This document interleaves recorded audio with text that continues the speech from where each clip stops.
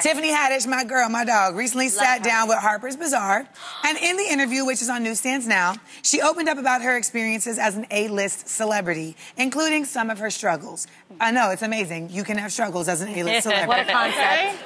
Tiffany explained that now that she has money, everybody looks at you like you. Why am I trying to talk like Tiffany? Every- everybody, Do it, because you do impressions well. Do a Tiffany impression.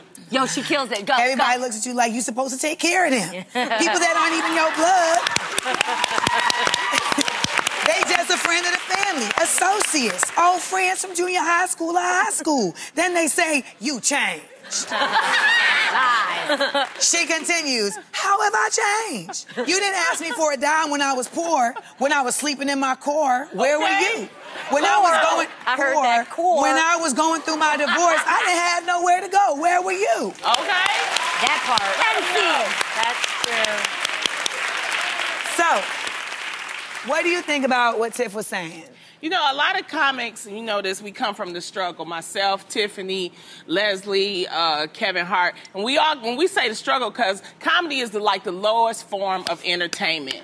We don't Yeah. get paid. We hit that chitlin circuit for five, ten, fifteen years. And then when you finally make it, but you got to remember, the handful of us that make it is a lot of people that don't. Correct. And they're still our friends. We still try to help them. As a matter of fact, Tiffany had a, a Showtime special Mm-hmm. where she put on some up and coming comics. A Netflix, sorry, thank Yep. you.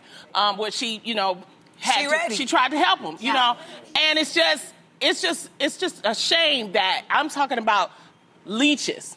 Now, it's a difference Yeah. between Right. your family and Yeah. leeches. Okay. And you have to be aware that sometimes when you on the glow up, you also have to start doing the grow up too. And it hurts. Mm. But it has to happen. Growing You pains, know? growing yeah, pains. Because like people come at you. Like somebody is coming after me because I used to take care of them. I put money in their pocket. Katt Williams put money in their oh. pocket, and now they lying. They lying on me. They making up stories, but it happens to everybody. It happened to Kevin Hart. Someone tried to blackmail him. He had to go to jail because that's what you have to do. Because when you're dealing with leeches, you know, instead of people that you're trying to help, we've all tried to help people, but then there becomes a time when you have to put your foot down and say, "Look, I can't help you Yeah. no more. I just can't give you money." Yeah, you're being, yeah, you have to be honest about it. Mm-hmm. And I actually heard stories, this happens with athletes, you know, after they make all this Mm. money, family, you got your aunt, your uncles, your cousin, and they want a little bit of it. And because, you know, they have a heart and maybe those people kind of have helped them, you know, do the glow up, Mm-hmm. they actually end up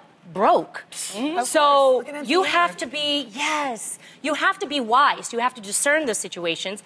Be honest. Say, hey, I know it looks like I have all this, but yo, you got to pay taxes too. Yeah. Yeah.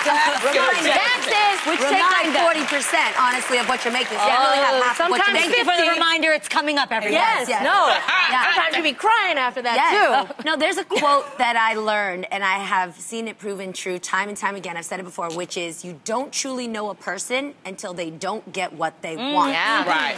You taught me that. Yes, and what I really mean is when you have